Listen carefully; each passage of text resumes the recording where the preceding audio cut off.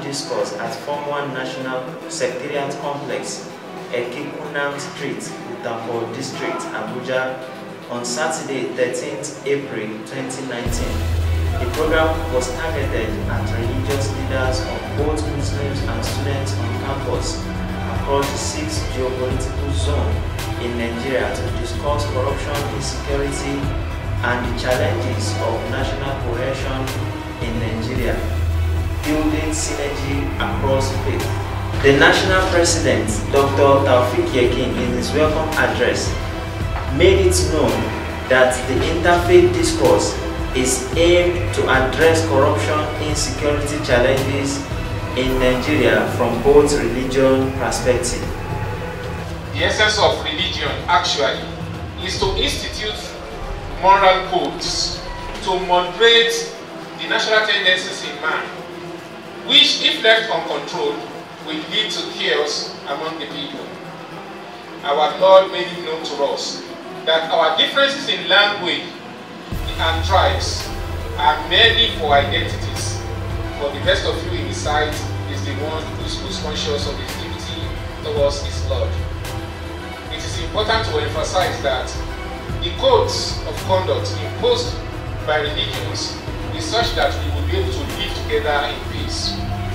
This national discourse was conceived as a way to awaken our consciousness to the shared moral standards among the adherents of the two major faiths in this country.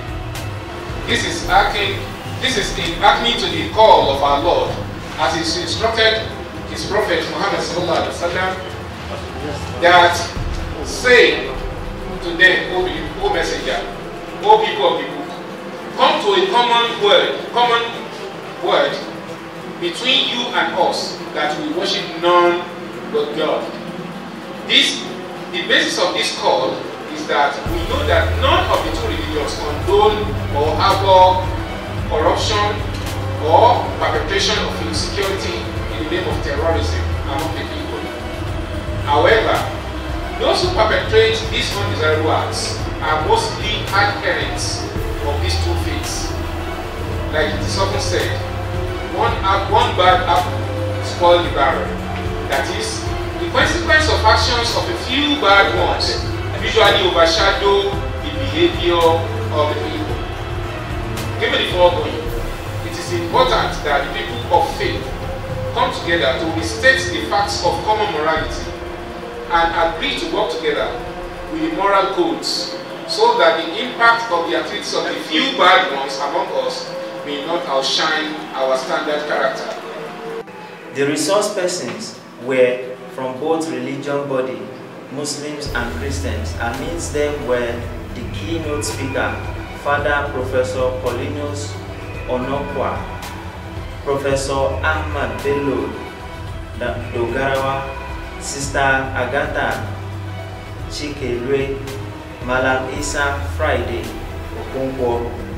During the program, all the speakers spoke about common values and similarities of various religions and how it supports development of our country, Nigeria. Professor Onokwa, the keynote speaker of the day, said Christian and Muslims need synergy in the context of faith to build the nation. He further said that corruption can be eliminated if we know that we need to be faithful to our duties at all levels. Use religion to climb to the top. When they get there, they throw away the Bible and the Quran. Do it. Am I lying? By the time they get there, some of them don't even pray anymore. So, in times like this, we must hearken to these words of the prophet Job. It is the Lord who speaks. Come back to me with all your heart, fasting, weeping, mourning. Let your heart be broken and your and not your garment torn.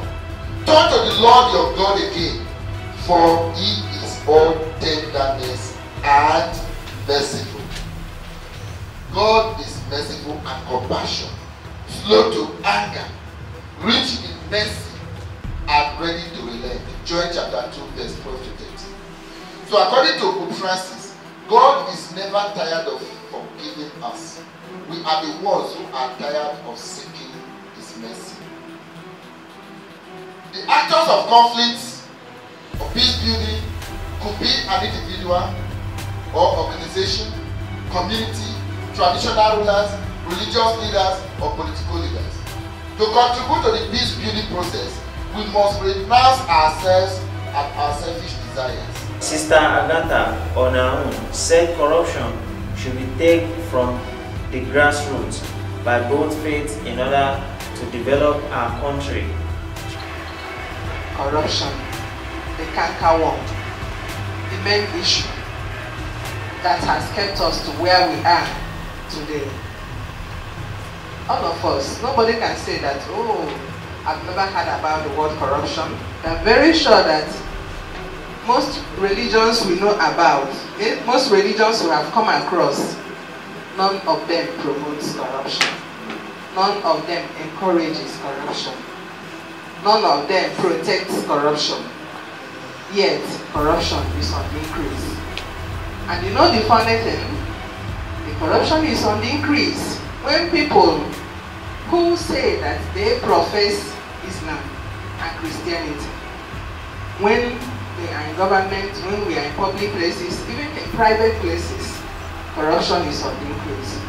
And one begins to ask question, what is the problem?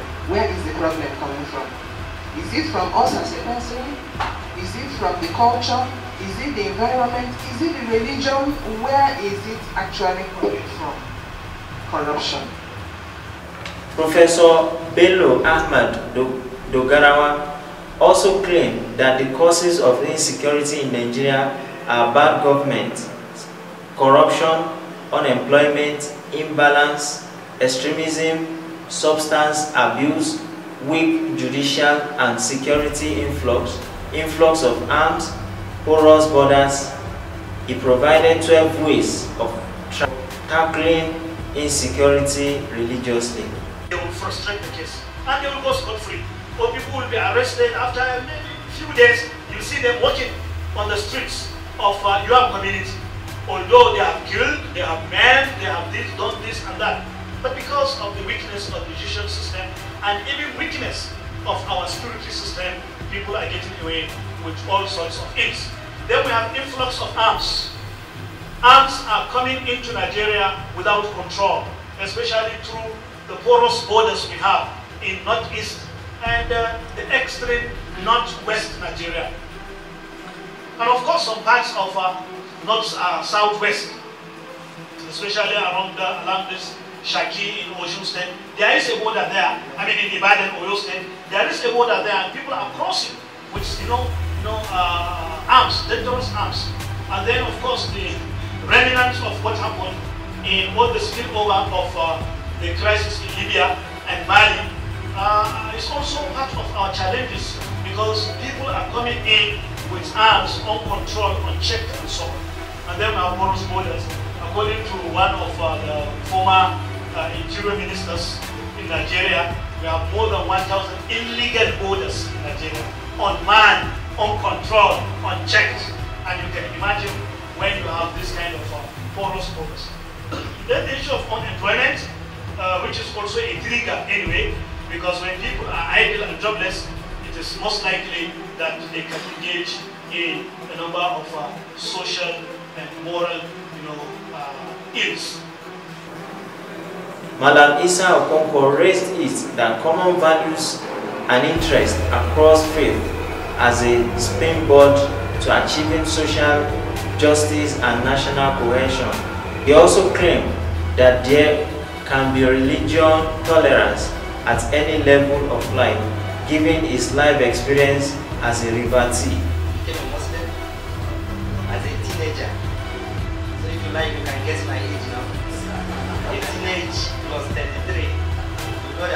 I'm, I'm chasing 50 now. Yes. Um, I used to tell people that I was not a combat. because at the time, any one of you would have been conscious of your religion, except few that Allah has blessed early. That was exactly the time I became a Muslim. And that was because even as a Christian, I was a very conscious and serious Christian. Before my becoming a Muslim, I was a man servant, those who are in?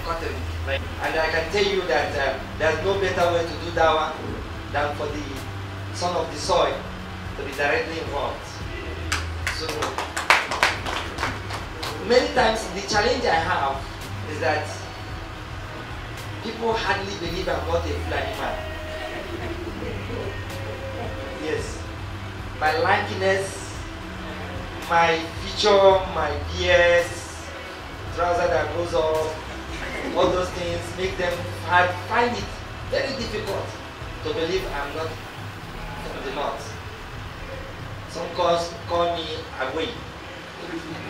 But the advantage I have is that I grew up from my village and I have very sound language. Very sound. So I've never seen anybody that challenge my identity that I've never beaten in Igbo language. Some of them say no, there are many Hausas that come here and grow up and learn Igbo.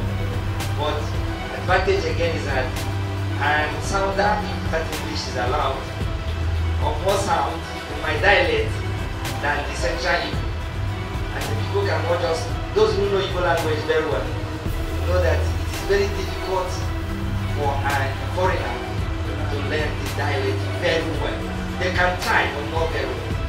So these are very, very wonderful. And these have been helping me a lot. The program was proudly supported by King Abdullah ibn Abdulaziz International Center for Interreligious and Intercultural Dialogue, KAICIID. Their representative in Nigeria has this to say.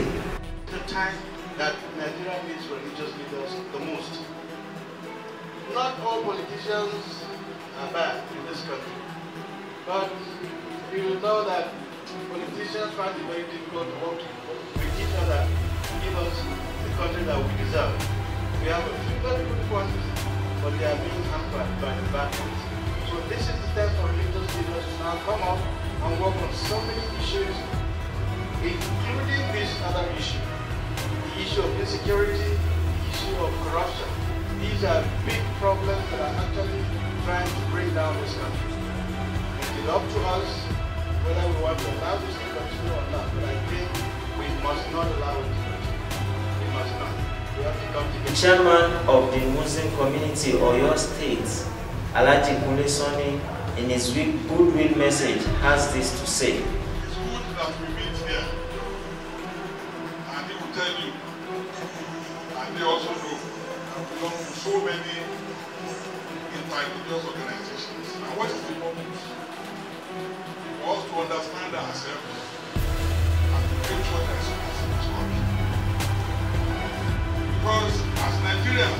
About staying in Nigeria, when you go outside Nigeria, you can't be proud of Nigeria.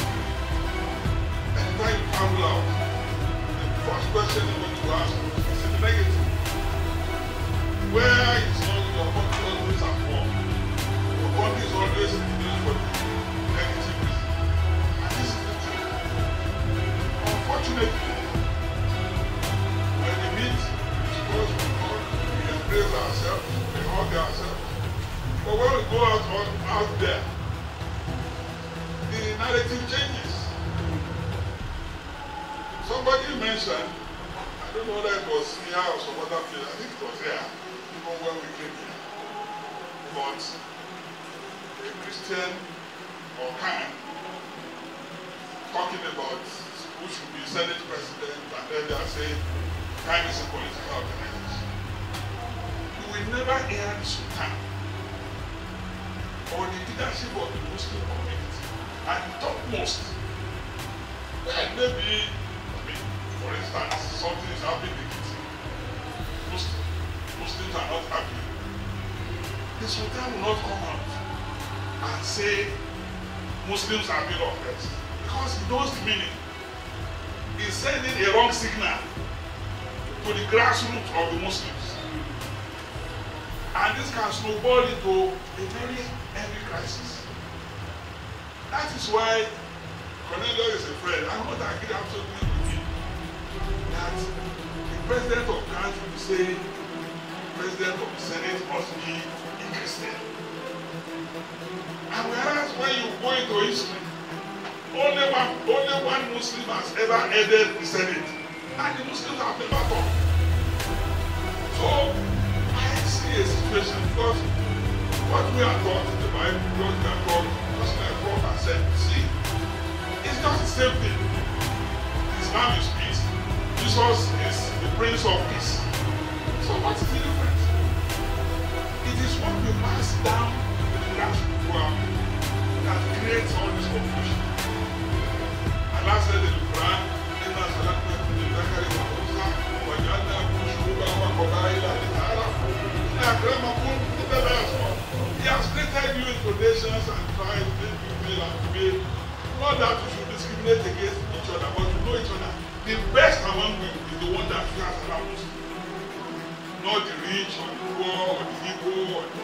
Hausa or whatever. If I'm born Hausa, man, would I complain to Allah if I was born in Kano? Will I tell Allah, why did you make me? Why, why was I born in Kano? So I believe I am looking at situation and this issue of uh, situation of we should have reached a stage in which can and Supreme Council will organize, you know, a joint demonstration,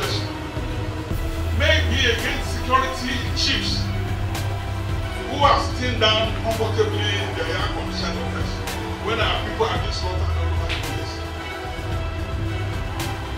They want to tell us they don't have enough intelligence to know what is happening in Savannah or what is happening on Lagos, um, uh, Abuja, and uh, Kaduna Road, and so on and so forth. And if they are kept there for so long and they are, they are not looking for solution, can they be removed by the president? I say, yeah, that's the kind of thing we should be doing now. Muslims and Christians talking with one voice that this is bad, corruption is bad. We do a joint press conference, we hold a joint demonstration. Somebody is corrupt, he has been mentioned in the press, in social media, and he has not been removed. Then the Muslims and the Christians go on, on the streets and say that this man be removed. And then the whole world will know that we are really together. Not that we come for, for, for and when we there, we start talking ill of each other. So I want to thank uh, the Muslims outside of Nigeria. both Christianity and Islam. This is spiritually bad by these major religions in Nigeria.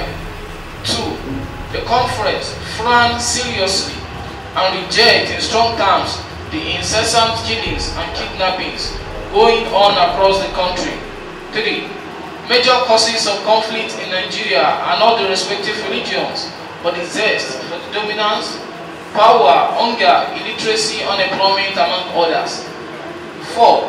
The political actors in societal conflicts are not foreigners, but Nigerians who already understood the functionality of the society. 5.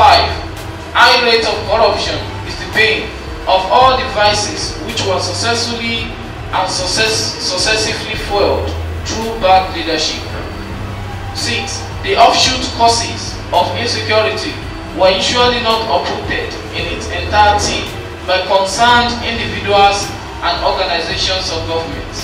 Recommendations With all the aforementioned, it is worth noting that corruption is never a human nature and not a lesser evil. Hence, there should be concerted effort to prefer and implement lasting and workable solutions to this malady. Consequently, we propose the following. 1. It is imperative that we understand the dictates of our religion as enshrined in the various divine books and be attitudinally ready to live by these teachings, whose scope of preaching is nothing but peace. 2. The fight against corruption should be seen as a collective duty and done together. 3. Our judicial and legal systems should be put on their toes to deliver justice without fear or favor. 4.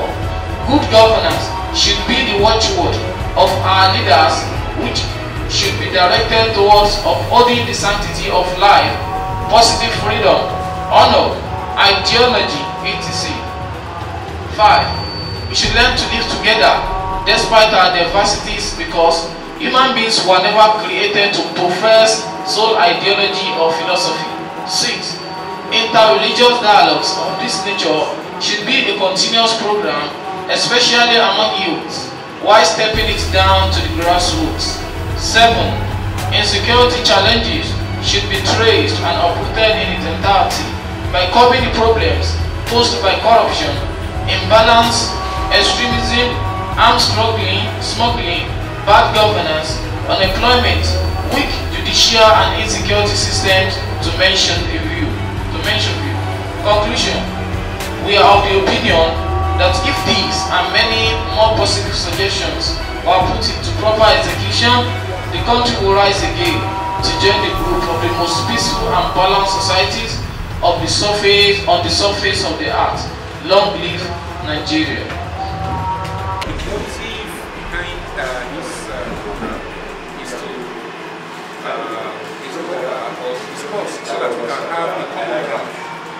Discussion on how to combat uh, incidents of insecurity and corruption in our nation. We believe it will fit uh, a core of hate, corruption, and uh, insecurity. So, but perpetrators of these acts are people from these different by discussing, by engaging ourselves, we to find a common ground use of which we tackle this twin uh, evil problem. Quite hopeful.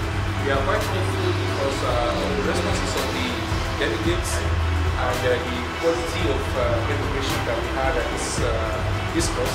We are very, very uh, optimistic that we are going to take them home.